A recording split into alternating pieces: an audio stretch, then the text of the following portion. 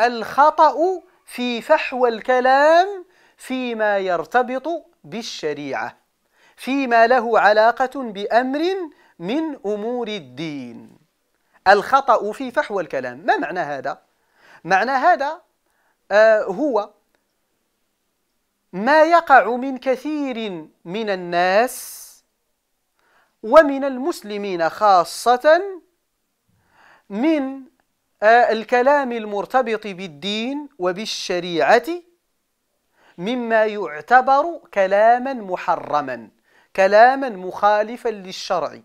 سواء أكان الكلام شركا بالله تبارك وتعالى أو كان مخالفا للشرع محرما لوجود مخالفة من المخالفات فيه.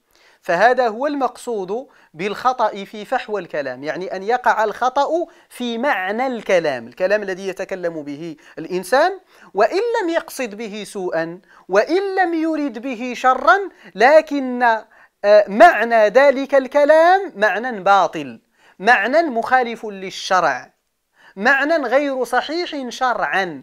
وإن تعارف عليه الناس وإن لم يقصد به صاحبه شرا ولم يرد به ضرا. ما دام الكلام معناه مخالف للشرع فيجب على المسلم أن يصوبه أن يصححه أن ينطق بالكلام السليم الصحيح فيما يتعلق بأمور الدين وأحكام الشريعة. لا سيما خاصة يتأكد هذا فيما يتعلق بالله تبارك وتعالى في الكلام المتعلق بالله عز وجل. كثير من المسلمين يتكلمون بكلمات ويخرجون من أفواههم الفاظا فيها تنقيص من الله تبارك وتعالى من حيث لا يشعرون. لا نشك أن هؤلاء المسلمين لا يدرون ما يقولون لكنهم مع ذلك على كل حال تخرج من أفواههم ألفاظ فيها تنقيص من الله رب العالمين. فيها وصف الله تبارك وتعالى بما لا يجوز وصفه به. فيها نسبة شيء إلى الله عز وجل لا يجوز نسبتها إليه. فهذا الأمر بخصوصه آكد مما تحدثنا عنه أولا. إذا المقصود أن الأخطاء اللفظية التي يقع فيها الناس مما يتعلق بأمور الشريعة وأحكام وأحكام الدين من الأخطاء التي يجب على المسلم تصحيحها وتصويبها وبالتالي تجنبها والابتعاد عنها. طيب كيف يصحح المسلم العامي هذه الأخطاء وهي كثيرة لا حصر لها. الأخطاء التي تقع آه، في الألفاظ والتي تجري على الألسن مما يتعلق بالله تبارك وتعالى أو بدينه عموما لا حصر لها كثيرة جدا. ويوجد منها في بلد ما لا يوجد في بلد آخر. تجد كل بلد من بلدان المسلمين فيه أخطاء شائعة منتشرة في هذا الجانب.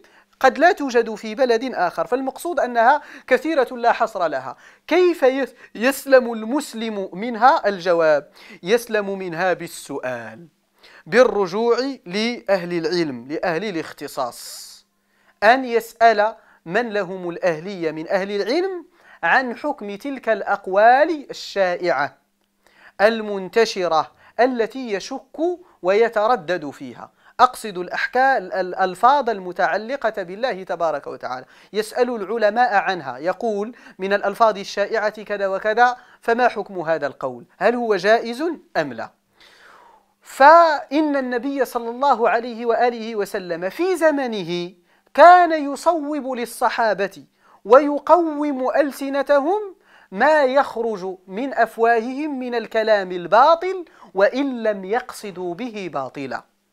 إذا كان الكلام في مضمونه باطل ولو لم يقصد به صاحبه الباطل كان النبي صلى الله عليه وسلم يصحح يصوب للصحابة ويميز لهم الصحيح من السقيم والباطل من الحق عليه الصلاة والسلام.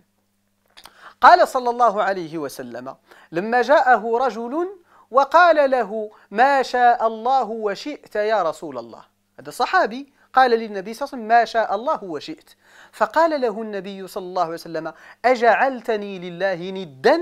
لا تقل ما شاء الله وشئت ولكن قل ما شاء الله وحده. وفي رواية قال عليه الصلاة والسلام لا يقل أحدكم ما شاء الله وشئت ولكن ليقل ما شاء الله وحده.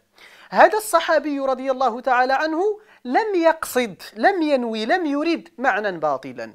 بلا شك. نجزم ونقطع أن الصحابي لم يرد أن يجعل النبي صلى الله عليه وسلم ندا لله لم يقصد هذا. لكن كلامه يقتضي هذا ويدل عليه. فصحح له النبي صلى الله عليه وسلم الكلام بين له الصواب من الألفاظ. وإن كان قصده حسنا. إذا يجب على المسلم أن يصحح ألفاظه التي تخرج منه إزاء الله تبارك وتعالى وإن لم يقصد بها شيئا قبيحا وإن كان قصده حسنا.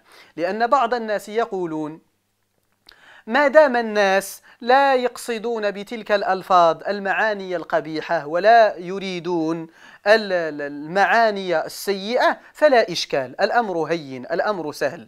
وليس الأمر كذلك. نقول ولو لم يقصد الناس ذلك فيجب عليهم تصحيح وتصويب ألفاظهم وأقوالهم التي يتلفظون بها خاصة فيما يتعلق بدين الله وشرعه. هذه الكلمات يجب تصويبها يجب آه، تصحيحها ولا يجوز تركها كذلك عملا بمقاصد الناس ونياتهم.